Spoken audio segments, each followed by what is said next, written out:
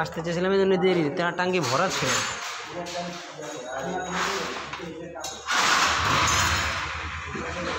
আর এই নাটটা একটু লাগাই ব্যাক হয়েছে তো।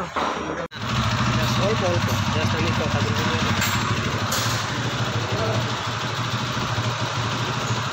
নাটটা লুজ হয়ে গেছিল।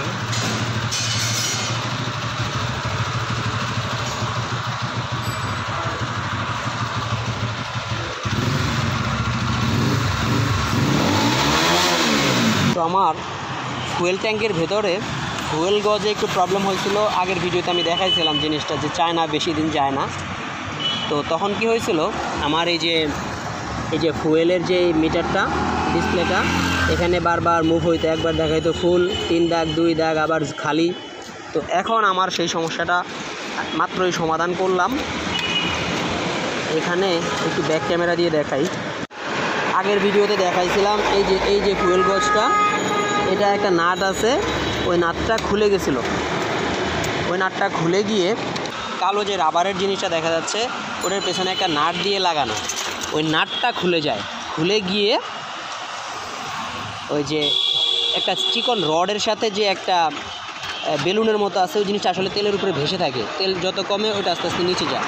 নিচে গেলে ওই ওই বেলুনের যে রডটার গোড়ায় ওই যে প্লাস্টিক, কালো প্লাস্টিকের ভেতরে হচ্ছে সেন্সর। তখন এটার মধ্যে হচ্ছে পরিমাপটা মেজারমেন্ট হয় এবং সেটাই হচ্ছে ডিসপ্লেতে শো করে। তো এখন হচ্ছে মোটামুটি ঠিক করে দেওয়া হয়েছে আর নাটটা টাইট করার পর আবার নাটের সামনে একটু সুপার গ্লু দিয়ে দেওয়া হয়েছে যাতে পরবর্তীতে নাটটা আবার লুজ হলেও খুলে না যায়। তো আশা করি সমস্যাটা সমাধান হয়ে যাবে ইনশাল্লাহ আর আসলে বাইক চালাইলে একটু ছোটোখাটো প্রবলেম হইতেই পারে। আর যেহেতু চায় না আমি ওই দিন বলছিলাম চায় না বেশি দিন যায় না। সেটার চেয়ে বড় ব্যাপার হচ্ছে আসলে মেনটেন্যান্স আপনি যদি প্রপারলি মেনটেন করেন, তো যেটা আমি বলছি যে সার্ভিস সেন্টারে একটু সমস্যা। সার্ভিস সেন্টার থেকে আসার পরেই দেখি যে নানান সমস্যা তৈরি হয় নতুন নতুন। যে এই কিটটা ফাঁকা। এই পাশের এই জিনিসটা কত সুন্দর ফিটিং এই জিনিসটা একদম ফিটিং দেখেন? কিন্তু এই জিনিসটা, এই যে, পুরোটা ফাঁকা।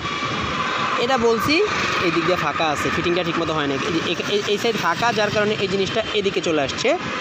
আর এই জায়গা কিন্তু এই সাইড ফাঁকা না, যার কারণে এই জিনিসটা সুন্দরভাবে ফিটিং হয়েছে। তো এরকম নানান সমস্যাই হয় সার্ভিস সেন্টার থেকে। সার্ভিস সেন্টারে আসি বাইক ঠিক করার, ভালো করার জন্য, কিন্তু সার্ভিস সেন্টার থেকে বাসায় গিয়ে দেখি যে বাইকে বিভিন্ন সমস্যা তৈরি হয়েছে। তো আশা করি আমি ওদেরকে বলছি যে যখন এই কিটগুলো একবার খুলে খোলা হয়, আবার লাগানো হয়, একটু সিরিয়াসলি লাগানোর জন্য। কারণ এই কিটগুলো খোলা এবং লাগানোর সময় ওরা অতটা গুরুত্ব দেয় না।